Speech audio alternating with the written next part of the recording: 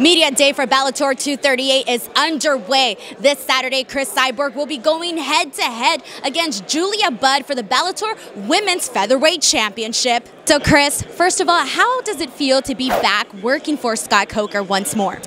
You know, I feel blessed and thankful, lucky for back at work Scott Coker. We have amazing opportunity together when I fought Gina Carano, and now again, I'm here. Wonderful. Now, how important is it for you to get your loss back after the Amanda Nunes fight and sort of, you know, have a win? You know, after Amanda Nunes, I beat Felicia, and now next fight, you know, I feel like every fight can happen. You can lose, you can win. You just have to prepare, and uh, you know, we compete. You know, we compete. So now Julia Budd is on an 11 fight winning streak. How does that, you know, affect you or have you, you know, thinking about with the upcoming fights? One thing I can know what she's feeling now. You know, I stayed 13 years in the fitness, and I know how special she is now. For me, I mean, feel like I'm a contender. I'm here for doing my amazing job and living, living God's hands. You know, let's see what's gonna happen. Be aware Saturday.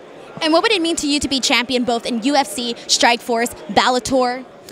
Um, bless, and then have a bless and uh, accomplish a lot of work, hard work, and continue forward, overcome a lot of things in my life and keep going.